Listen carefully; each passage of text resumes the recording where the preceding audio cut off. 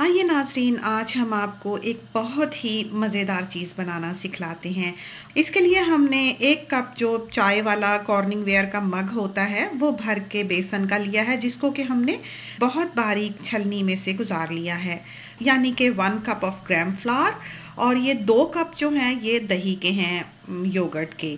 इसके साथ ही हमने खूब सारा कड़ी पत्ता लिया है, कड़ी लीव्स और वन होल गार्लिक लिया है टू इंचेस ऑफ़ जिंजर ली है वन मीडियम साइज़ अनियन लिया है, और टू मीडियम साइज़ टोमेटोज लिए हैं। स्पाइसेस में हमने हाफ़ टी स्पून जो है वो पॉमीग्रेनेट सीड लिए हैं, अनारदाना, और हाफ़ टी स्पून अजवाइन ली है half teaspoon cumin seeds लिए हैं, और हाफ़ टी स्पून ही हमने होल ब्लैक पेपर ली हैं, काली मिर्चें। One and half tablespoon salt लिया है one and half tablespoon chilli powder one and half tablespoon coriander powder and three quarter of teaspoon turmeric है। टू कप्स जो है, ये पकौड़ियों के लिए बेसन लिया है ग्राम फ्लावर और वन मीडियम साइज़ अनियन लिया है और खूब सारी ग्रीन चिलीज़ ली हैं। वन टेबल स्पून जो है, ये क्रश्ड चिलीज़ ली हैं one tablespoon coriander powder लिया है वन टीस्पून बेकिंग पाउडर है वन टीस्पून फुल जो है वो सॉल्ट है और हाफ़ टी स्पून जो है वो होल ब्लैक पेपर है half teaspoon cumin seeds हैं half teaspoon pomegranate seed हैं और हाफ़ टी स्पून ही अजवाइन है। और अब ये जो चीज़ें आपको दिखाई दे रही हैं, ये हमने तड़के के लिए रखी हुई हैं। और इसमें ये कड़ी पत्ता है और वन टीस्पून जो है वो अजवाइन है और वन टीस्पून ही क्यूमिन सीड्स हैं। और साथ ही हमने ये होल ड्राइड रेड चिलीज़ ली हुई हैं। अब ये करीबन फाइव एंड हाफ़ लीटर या सिक्स लीटर जो है ये पानी होगा हमारी पॉट में और इसमें हम ये छान कर ग्राम फ्लावर जो है उसको शामिल कर देंगे जो कि एक कप था। और इसके बाद आप इसमें जो टू कप योगर्ट था, उसको छान कर इसी तरह पानी में शामिल कर लेंगे और इसको थोड़ा सा हिला लेंगे ताकि बेसन अच्छी तरह से मिल जाए।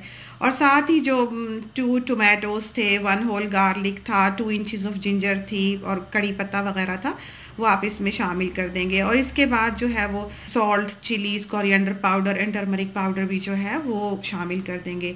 अब आती है ये अजवाइन क्यूमिन सीड और पॉमीग्रेनेट सीड और होल ब्लैक पेपर वगैरह की बारी, इसको भी शामिल कर देंगे। और अनियंस जो है वो बड़ा बड़ा ही चार टुकड़े करके आप जो मीडियम अनियन था वो इसमें शामिल कर दें और इसको थोड़ा सा हिला दें।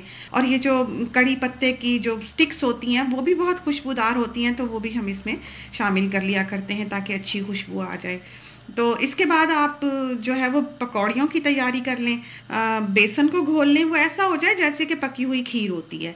और घोलने के बाद आप ये देख लें कि इसकी ये शक्ल हो जाएगी और आप इसमें जो है वो अनियंस शामिल कर लें और इसके बाद जो आ, सारा मसाला हमने एक तरफ़ रखा हुआ था वो सारा कुछ इसमें शामिल कर लेंगे। और ग्रीन चिलीज़ जो है खूब सारी वो छोटी छोटी नहीं काटनी है, बल्कि बहुत बड़ी बड़ी रहने देनी है कि जो चाहे वो निकाल दे और जो चाहे वो इससे खा ले। इसकी, इस तरह से ग्रीन चिलीज़ जो है वो पकौड़ियों में डालने की एक बड़ी ख़ास ब्यूटी है। तो इसके बाद आप इसको अच्छी तरह से मिक्स कर लें, लेकिन ये है कि मिक्स करने में आप अपनी कड़ी से गाफिल ना हो जाएँ क्योंकि कड़ी का काम है कि वो उबलती है और जब तक आप ये चाहते हैं कि उसको बहुत सारी हीट लग जाए तो काफ़ी हाई हीट पे होती है कि पहला उबाला जो है वो उसको एकदम ही आता है और वो सारी पॉट से बाहर होती है। तो आपने इस पर नज़र रखनी है और जब इसको ये पहला उबाला आए तो आप इसकी आँच बिल्कुल धीमी कर दें। और आप देखेंगे कि वो फिर उबलेगी नहीं और आपने जो मिक्सिंग स्पून है, उसको कड़ी के बीच में ही रखना है, वरना आपकी कड़ी उबल जाएगी। आप ध्यान रखें कि आपकी हीट जो है वो जैसे जैसे कड़ी, गाढ़ी होती जाती है, वैसे वैसे उसकी हीट बढ़ाते जाएँ तो ये जल्दी पक जाएगी। और जब आप ये देखेंगे ये करीबन आधी रह गई है पक पक के इस वक्त आप इसको उठाकर जो है वो एक बार छलनी में से गुजार लें, किसी भी किस्म के सिफ्टर में से। और इस तरह से ये है कि आपकी जो सारी चीज़ें जो आपने इसके बीच में डाली थी मोटी मोटी वो सारी छन जाएँगी और बहुत अच्छी साफ़ सुथरी कड़ी आपके लिए तैयार होगी। ये मेक श्योर sure करें कि इसको आप अच्छी तरह से स्क्वीज़ कर लें, ताकि आपके सारे जो जूसेस हैं, खुशबू जो है वो इसमें आपकी कड़ी में बहुत अच्छी तरह से कायम रहे। और इसके बाद आप इसको दोबारा से जो है वो अपनी पॉट में उलट लें। और दूसरी तरफ़ जो है वो आपकी पकौड़ियों का मसाला जो है वो बिल्कुल तैयार पड़ा हुआ है और आप इसको पकौड़ियों को ऑयल गरम करके खुला तेल लेकर और उसमें फ्राई कर लें और लाल हो जाए तो आप इनको उबलती हुई कड़ी में शामिल कर दें। और इसी तरह पर ये बारी बारी आप जो है ये पकौड़ियाँ फ्राई करते रहें और आप इनको इसी तरह कड़ी में शामिल करते रहें और कड़ी की हीट जो है वो आप मीडियम रहने दें ताकि वो उबलती रहे।